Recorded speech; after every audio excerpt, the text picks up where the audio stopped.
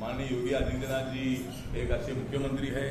उनको मौका मिलने के बाद उन्होंने गुंडाशाही को यहाँ दिया है। जो गुंडागर्दी करने वाले जो लोग थे, ऐसे लोगों को सबक सिखाने का काम किया है। और बाकी बचे हुए जो गुंडा लोग हैं, उनको सबक सिखाने के लिए मैं इधर आया हूँ। और इसीलिए मतलब लोकतंत्र है।